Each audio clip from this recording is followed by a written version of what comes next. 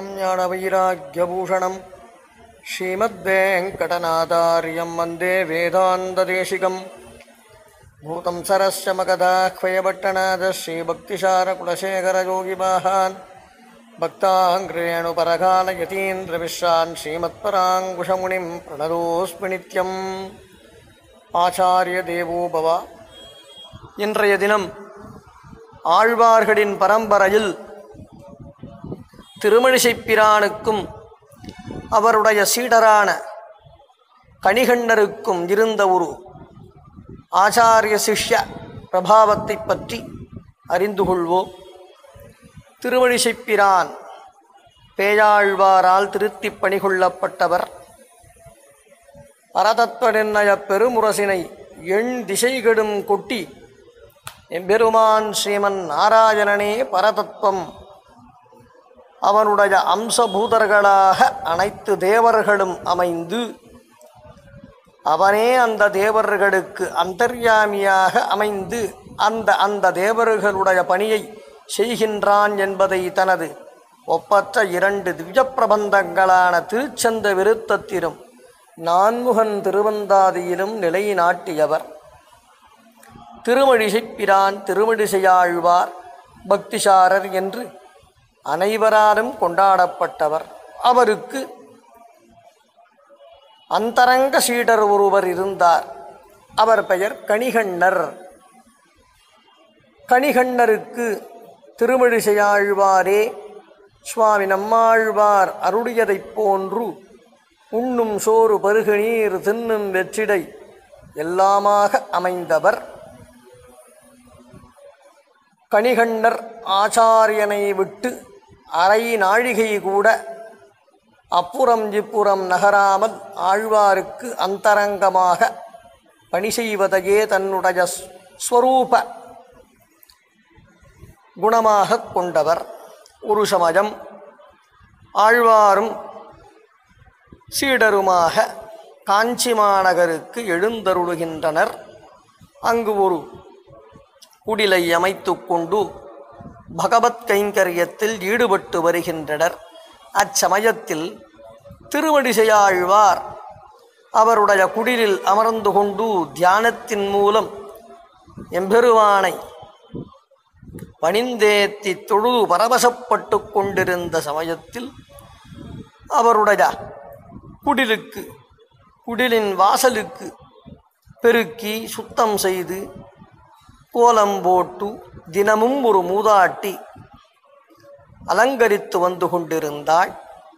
ஒரு சமயம் ஆழ்வார் அம்மூதாட்டியின் அறப்பணியைக் கண்டு அகமகிழ்ச்சியடைந்து அந்த மூதாட்டிக்கு உனக்கு என்ன வரம் வேண்டுமோ கேட்டு பெற்றுக்கொள்வாயாக என்று அருளினார். அம்மூதாட்டியும் அடியேனுக்கு இந்த முதுமையானது மிகவும் அடியேனுடைய சரீரத்தை கஷ்டப்படுத்துகின்றது. நோய்கள் பல தாக்குகின்றன. அவைகள் விளைவிக்கும் துன்பத்தை என் முதுமையின் காரணமாக என்னால் தாங்கிக் கொள்ள முடியவில்லை. ஆகையால் அருள் கூர்ந்து அடியேனுக்கு தேவரீர் இந்த முதுமையை அகற்றி அருள வேணும் என்று விண்ணப்பித்து கொண்டாள். ஆழ்வாரும் தன்னுடைய ஒரு அருட் அருட்பார்வையின் மூலமாக அருட்கடாட்சத்தின் மூலமாக அந்த மூதாட்டிக்கு முதுமையை அகற்றி என்றும் மாறாத இளமையை யௌவனத்தை பேரழகினை வரமாகத் தந்தார். மூதாட்டியும் யுவதியானாள் ஆழ்வாரின் பிரபாவத்தின் காரணமாக. அந்த யுவதியை அந்த காஞ்சி மாநகரத்தை ஆண்டு கொண்டிருந்த பல்லவ மன்னன் ஒரு சமயம் நகர்வலம் வரும் பொழுது கண்டுகொண்டான் அவளின் அழகானது. அந்த பல்லவ மன்னனை மிகவும் கவர்ந்தது. அந்த யுவதியை தன்னை திருமணம் செய்து கொள்ளும்படியாக கல்யாணம் செய்து கொள்ளும்படியாக கேட்டு அந்த யுவதியானவளை திருமணமும் செய்து கொண்டு அவளை தன்னுடைய பட்டமகிழ்ச்சியாக ஆக்கி மகிழ்ச்சியுடன் அரசாட்சி செலுத்து கொண்டிருந்தான். காலம் பல சென்றது. யுவதி யுவதியாகவே இருக்கின்றாள். ஆழ்வாரின் கட்டாட்ச விசேஷத்தினால் ஆனால் அந்தோ பல்லவ மன்னன் தன்னுடைய இளமையை மெதுவாக இழக்கத் தொடங்கி முதுமையை வரவேற்கத் தொடங்கினான். அச்சமயத்தில் தன்னுடைய மகிழ்ச்சியானவளைக் கண்டு நீ நீ மட்டும் எப்படி என்றும் மாறாத இடமையுடன் திகழ்கின்றாய். காலமானது உன்னை மாற்ற முடியாமல் தோற்றதேன். என்னுடைய இளமையானது கரைந்து போய் முதுமையை நான் அடைந்ததேன். இதற்கு என்ன காரணம் கூறுவாயாக என்று ராணியைக் கேட்டான் ராணியும் இந்நகரின் கண் திருவழிசைப்பிரான் என்ற மகா விஷ்ணு பக்தர் ஆழ்வார். குடில வைத்து தங்கிக் கொண்டு சதா தியானத்தில் ஈடுபட்டு கொண்டு அச்சுதனை தொழுதேத்திக் கொண்டிருக்கின்றார். அவரின் அடிபணிந்து அடியேன் இந்த என்றும் மாறாத இளமை வரத்தை பெற்றேன். அதன் காரணமாக உங்களுக்கு மகிழ்ச்சியாய் அதாவது பட்டத்து ராணியாய் அமைந்தேன். என்னுடைய இளமை என்றும் குன்றாது ஆழ்வாரின் பிரபாவத்தினால் திருமழிசை ஆழ்வாரின் திருவருளினால். தேவரீரும் ஆழ்வாரின் ஒரு கட்டாட்சத்தை பெற்றால் என்றும் மாறாத இளமையை அடையலாம் என்று அரசன் ஆழ்வாரின் கட்டாட்சத்தை பெற்ற இளமையை அடைய முயல வேண்டும் என்று உபாயத்தை கூறினாள். ஆழ்வாரை எப்படி சேவிக்கப் போவது? அது அரசனுக்கு தகுதி என்று என்று அரசன் யோசித்தான். யோசித்து கொண்டு மாடத்தில் அதாவது நாம் இப்போது பால்கனி என்று சொல்லுவோமே உப்பரிகை என்று அக்காலத்தில் கூறுவார்கள். அந்த உப்பரிகையில் நின்று கொண்டிருக்கின்றான். அச்சமயத்தில் ஆழ்வாரின் சீடரான கணிகண்ணர் வீதியின் வழியாக சென்று கொண்டிருக்கின்றார் கணிகண்ணர். ஆழ்வாரின் அந்தரங்க சீடர் என்பதை அறிந்து கொண்டான் அரசன் வேலையாட்களை கூப்பிட்டு கணிகண்ணரை உடனடியாக அழைத்து வரும்படி பணிக்கின்றான் கணிகண்ணரும் அரசனின் சமீபத்தில் வந்து நின்று கொண்டு என்ன வேண்டும்? என்று அரசனை கேட்கின்றார். உங்கள் ஆழ்வாரை உம்முடைய ஆச்சாரியரான திருவடிசை ஆழ்வாரை நீர் இங்கே அடைத்து கொண்டு வர வேண்டும். அவரின் மூலம் நான் என்றும் மாறாத இடமையை பெற வேண்டும் என்று கூறுகின்றான். கணிகண்ணர் கடகட என்று சிரிக்கின்றார். பொறுக்காலும் ஆழ்வார் உன் போன்ற ஒரு அரசனை சந்திக்க வரவே மாட்டார்.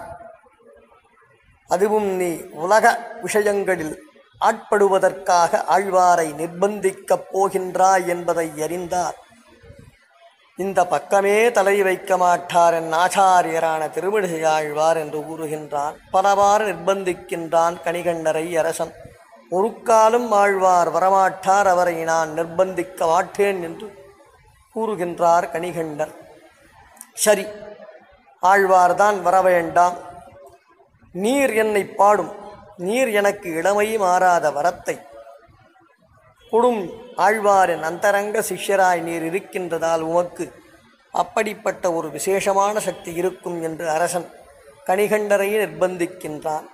கணிகண்டர் வாய்க்கொண்டு மானிடம் பாடமாட்டேன் என்று சபதம் உரைக்கின்றார். அரசனுக்கோ மிகவும் ஒரு கோபம் நேரிடுகின்றது. திருவுடை மன்னரைக் கண்டால் திருமாலைக் கண்டேனே என்னும் என்று. எதிர்காலத்தில் ஆழ்வார் ஒருவர் பாடி அருளப் போகின்றார் என்பதை. யாதிருஷ்டிகமாக உணர்ந்த அரசன் பற்பல வேத வாக்கியங்களையும் பிர- பற்பல பிரமாணங்களையும் கொண்டு ராஜாவிடத்தில் திருமால் நினை நிற்கிறார் என்று சாஸ்திரங்கள் இயம்புகின்றன. ஆகையால் என்னை பாடினால் நீ திருமாலை பாடியதாகவே அமையுமென்றோ ஆகையால் நீ என்னை பாடுவதால் உனக்கு எந்த குற்றமும் வாராது காண் என்று கூறுகின்றான். கணிகண்டர் சரி என்று பாடுகின்றார். ஆடவர்கள் எங்க நகல்வார் பாடகமும் ஊரகமும் பாம்பனையும் நீடியமால் நின்றான் இருந்தான் கிடந்தான் நடந்தான் மன்றார் ஒழுக்கட்சி வாண்பு என்று பாடுகின்றார். அடியேன் அந்த பாடலை சிறிது தவறாக பாடியிருப்பின் அனைத்து நண்பர்களும் க்ஷமித்தருள வேண்டுமாய் பிரார்த்திக்கின்றேன். கதைக்கு செல்வோம். இவ்வாறு தன்னை பாடாமல் ஊரை பாடியதால் மிகவும் வெகுண்டெழுந்தான் அரசன். நீ இந்த நகரை விட்டு வெளியே போ. என்னை பாடாத ஒரு வியக்தியானவன் என்னுடைய நான் அரசாட்சி செய்யும் நகரில் இருக்க தகுதியற்றவன் என்று ஆணையிடுகின்றான். கணிகண்டர் நேராகச் செல்கின்றார். ஆழ்வாரின் திருவடியை பணிகின்றார் அரசனின் ஆணையை கூறுகின்றார். ஆழ்வார் புன் முறுவல் ஊக்கின்றார் சற்று பொறும் கணிகண்டரே நானும் உம்முடன் வருகிறேன் என்று கூறி வெக்காவில் எழுந்தருடைய இருக்கும் எம்பெருமானை பிரார்த்திக்கின்றார். கணிகண்ணன் போகின்றான் தாமரும் பூங்கச்சி மணிவண்ணா நீ கிடக்க வேண்டா. துணிவுடைய சென்னா புலவனும் போகின்றேன். நீ உந்தன் பைனாகப்பாயை சுருட்டிக்கொள் என்று எம்பெருமானுக்கு ஆணையிடுகின்றார். திரும்பி பாராமல் செல்கின்றார். எம்பெருமானும் அடியார் வசப்பட்டவனன்றோ பாம்பை பாயாகச் சுருட்டி தன்னுடைய கையிடுக்கில் வைத்துக்கொண்டு ஆழ்வாரை தொடர்ந்து செல்கின்றான். பரமபுருஷனான ஸ்ரீமன் நாராயணன் அந்த இடத்தை விட்டு அகன்று சென்றவுடன் அனைத்து தேவதைகளும் அவனின் பின்னே சென்று விடுகின்றனர். காஞ்சி மாநகரமே பூதப்பிரேத பிசாசாதிகளால் சூடப்பெறுகின்றது. தீய சக்திகள் எங்கும் நிறைந்து அந்நகரை ஆக்கிரமிக்க முற்படுகின்றன. கணிகண்ணரும் திருமடிசை ஆழ்வாரும் எதோக்தகாரி அதாவது ஆழ்வாரின் சொல்கேட்ட பெருமான சொன்ன வண்ணம் செய்த பெருமானும் ஓர் இரவிருக்கை என்கின்ற இடத்தில் தங்குகின்றனர். இரவு பொழுதை கழிக்கின்றனர். அரசன் பல்லவ அரசன் பயந்து விடுகின்றான். பல பல தீய சகுனங்களை தன்னுடைய நகரின் கண் காண்கின்றான். ஐயகோ நாம் கணிகண்டரின் திருவடியில் அவதாரப்பட்டு விட்டோமே என்று புலம்புகின்றான். ஓடுகின்றான் ஆழ்வார் இருப்பிடத்தை நோக்கி கணிகண்டரின் காலை பிடித்து கதறுகின்றான். தன்னை பொறுத்தருளுமாறு வேண்டுகின்றான். திரும்பவும் காஞ்சி மாநகருக்கு எழுந்தருடி அடிலோங்களுக்கு அருள் புரிய வேண்டும் மக்களை அனைத்து ஆபத்துக்களிலும் காக்க வேண்டும் என்று விஞ்ஞாபிக்கின்றான் அபராத க்ஷமாபணம் அதாவது பிழை பொறுத்தருடும்படியாக வேண்டுகின்றான் கணிகண்டரை கணிகண்டரும் மனவிறங்கி ஆழ்வாரிடம் சென்று தண்டனிட்டு அடியேன். அரசன் தம்மை நகருக்கு எழுந்தருளுமாறு விண்ணப்பிக்கின்றான். ஆகையால் அடியேன் செல்கின்றேன் என்று கூறுகின்றான். நானும் வருகின்றேன் என்றார் ஆழ்வார். திருமடிசை ஆழ்வார் இரு சற்று பொறு என்று நேராகச் சொன்ன வண்ணம் செய்த பெருமாரிடம் சென்று எம்பெருமானே கணிகண்ணன் போக்கொழிந்தான் தாமரும் பூங்கச்சி மணிவண்ணா நீ கிடக்க வேண்டும். துணிவுடைய சென்னா புலவனும் போக்கொழிந்தேன் நீயும் தன் பைனாகப்பாயை விரித்துக்கொள் என்று விஞ்ஞாபிக்கின்றார் ஆழ்வாரின் சொல்கேட்கும் பெருமாடன்றோ தாயின் சொல்கேட்கும் பிள்ளை தசரத ராமன் கௌசலை ராமன் போன்றவன் நம்முடைய சொன்ன வண்ணம் செய்தவன். ஆழ்வாரே அவனுக்கு கௌசலையாக காட்சியளிக்கின்றாய். தாயின் சொல்கேட்ட பிள்ளை போன்று ஆழ்வாரின் சொல்கேட்டு ஆழ்வாரின் பின்னே எழுந்தருடி காஞ்சிமாநகர் சென்று அரசனின் மாளிகைக்கு எதிராக தன்னுடைய சிரசை வைத்துக்கொண்டு காலை நீட்டிக்கொன்று தலைமாடு கால்மாடு மாறி வடுத்துக் கொள்கின்றான். அரசனும் தன்னுடைய ஒரு தவற்றினை மன்னித்து அருளும்படியாக ஆழ்வாரை கால் பிடித்து இறங்கி தன்னுடைய ஸ்வரூப சாயுஜ்யத்தை பெற்றான். இவ்வாறாக திருமழிசை பிரானுக்கும் அவருடைய சீடரான கணிகண்ணருக்கும் உள்ள ஒரு ஆதாரிய சிஷ்ய அனுபவமானது பரிமளிக்கின்றது. கணிகண்ணன் சொல்கேட்பவர் திருமிழிசையாழ்வார் ஆச்சாரியனின் மனோபாவத்தை அறிந்தவர் கணிகண்ணன். இப்படி ஒரு ஆச்சாரிய சிஷ்ய பரஸ்பர ஆத்மபந்தம் எங்கும் காண கிடைத்தறியது. இவ்வாறாக திருமணிசையாழ்வாருக்கும் கணிகண்ணருக்கும் உள்ள ஆச்சாரிய சம்பந்தம் நம்மை மகிழ்ச்சி பரவசத்தில் ஆழ்த்துகின்றது. நாளை மற்றொரு ஆழ்வாருக்கும் அவரின் சிஷ்யருக்கும் உள்ள தொடர்பினை அறிந்து மகிழ்வோம். श्रीमदे श्रीलक्ष्मीणसंमदिव्यपादुकासेवक श्रीवंशडगोवश्रीनारायणयतीन्द्रमहादेशिगाय नमः। श्रीमदे श्रीवंशडगोवश्रीरग्गनाथयतीन्द्रमःशिगाय नमः।